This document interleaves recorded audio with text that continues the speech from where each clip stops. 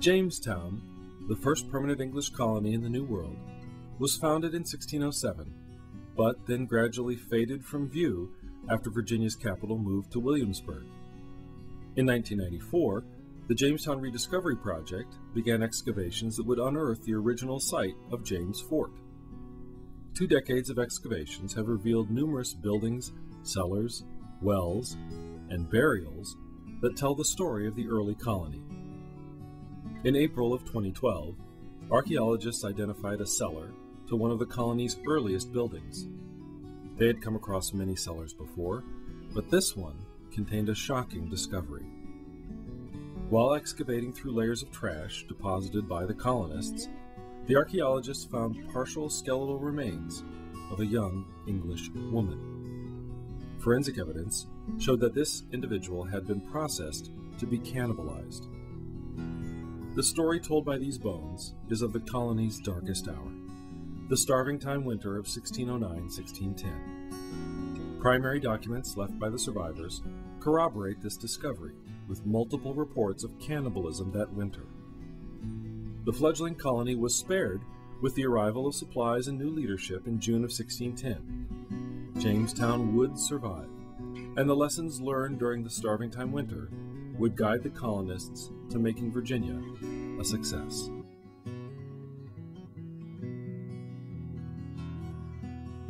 From the very first months of the colony, the Jamestown settlers had a hard time feeding themselves. Captain John Smith's skill at trading European goods to Virginia Indians for their corn kept the colony going. But a large supply fleet from England in the summer of 1609 was scattered by a massive hurricane. The ships that did limp to the colony that August carried few supplies, but a few hundred more mouths to feed. Among the newly arrived colonists was the young girl whose remains would be found more than 400 years later in the cellar. These new settlers ate through the colony's seven acres of planted corn in three days. A month later, a mysterious gunpowder explosion severely injured Smith, the acting president of the colony at that time and that explosion sent him back to London to recuperate. The James Fort settlers now faced the coming winter with fractured leadership, few food resources, and a break with the Powhatan Indian chiefdom that surrounded them.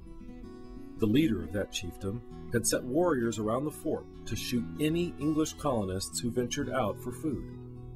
The winter of 1609 1610 would be the worst starving time the colony had ever known a test of the fort settlers' humanity and will to live.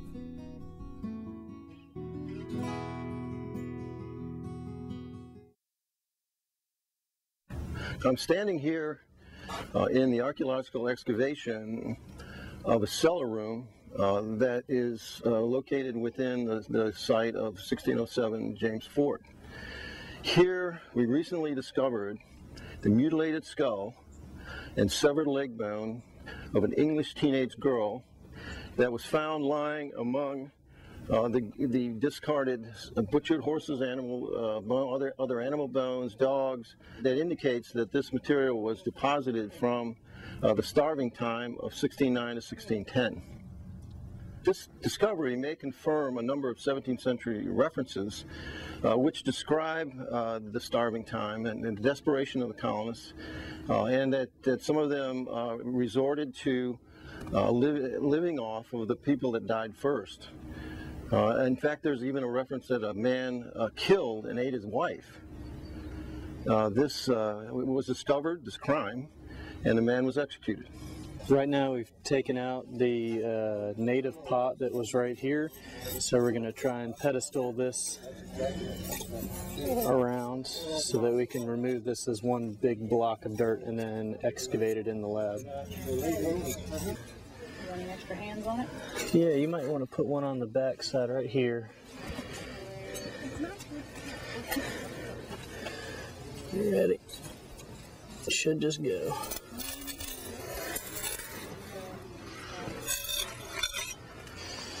And we got it to the lab.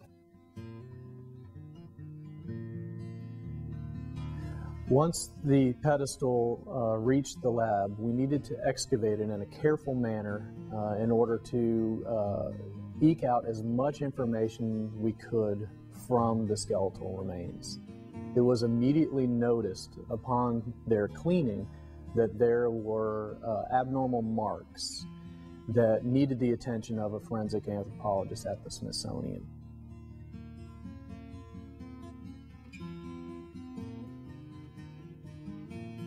Jamestown rediscovery archaeologists have worked with the Smithsonian's forensic anthropologists for 20 years.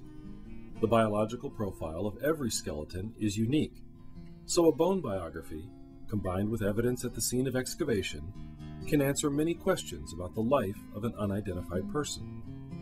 Forensic information in bones can tell us age, gender, ancestry, diet, height, whether there was injury or illness, and even cause of death. In years past, Doug Owsley and his Smithsonian team have examined a Jamestown skeleton that had been shot in the leg, and another that proved to be a young boy hit with an arrow in 1607. The Smithsonian provided important clues that another James Fort burial was that of Captain Bartholomew Gosnold, a major planner of the colony. The expertise of Owsley's team has even aided in facial reconstruction of early settlers, based on the story written in their bones. Owsley and his team have a long history of assisting law enforcement agencies in the analysis of human remains in modern criminal cases. Now, the Jamestown Rediscovery archaeologists were asking the Smithsonian team to use the latest technology to answer this question Was this set of bones a case of 17th century cannibalism? Level of analysis is to try and match up any other components in the bones that have been recovered, the animal bones. And within this, the, the Jamestown team brought to our attention a tibia, and this is a partial fragment of a right tibia. The tibia is a shin bone. This is the portion beneath the knee. And at the time of recovery, you had a partial in two fragments proximal epiphysis of this tibia, and it was in the process of uniting. There's no doubt in my mind this the size of this, this is clearly female, and the age is absolutely consistent with this young individual here. So these are portions of the same body, part of the same skeleton. And so we'll examine both of them at some point, and probably initially, the head had been removed from the neck.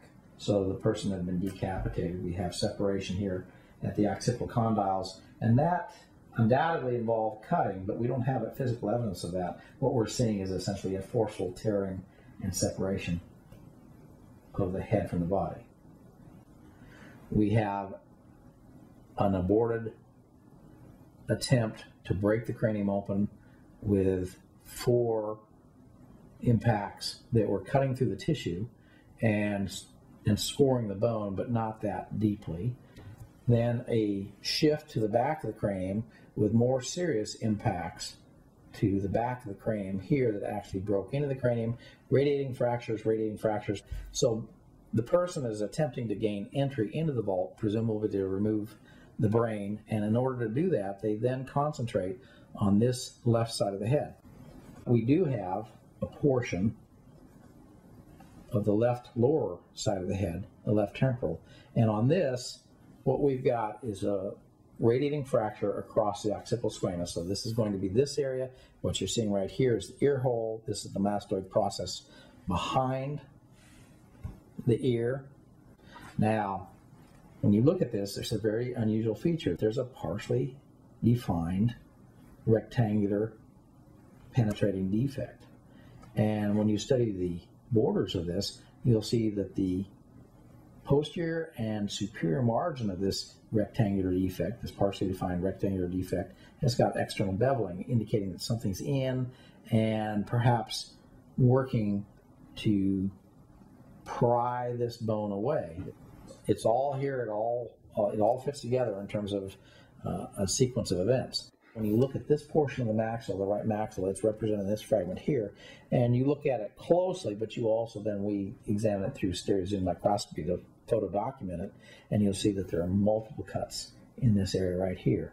So there's a clear intent and completion of a process that led to removing the brain, but there's also evidence that there was cutting with a different tool. So this would be our third tool. We have some type of some type of cleaver or hacking implement. We have some sort of pry bar that is used over here that has a rectangular rectangular edge, and now we've got a very fine knife, and that fine knife is leaving marks at specific locations. And if you're cutting in this area, then you're essentially dealing with the muscles. This would be the masseter attempting to move, uh, attempting to remove facial musculature here.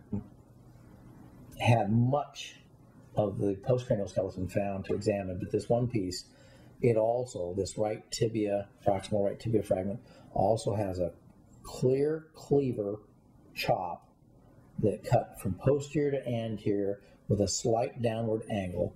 And it progressed about, in terms of looking at the cut, it progressed oh, halfway through the bone. Then you can see that the angle of the blade shifted just slightly, leaving a little stair step and a very smooth, this is all cut surface.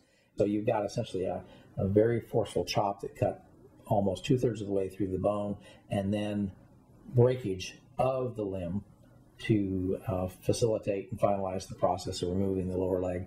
And if you look at it with close-up eyes and under series of microscopy, you'll see that there are at least at least four uh, very fine knife cuts that were also uh, this type of tool was also used then in separating the lower leg. So you've got essentially cutting a serious chop or a serious chop and then cutting to remove the lower leg.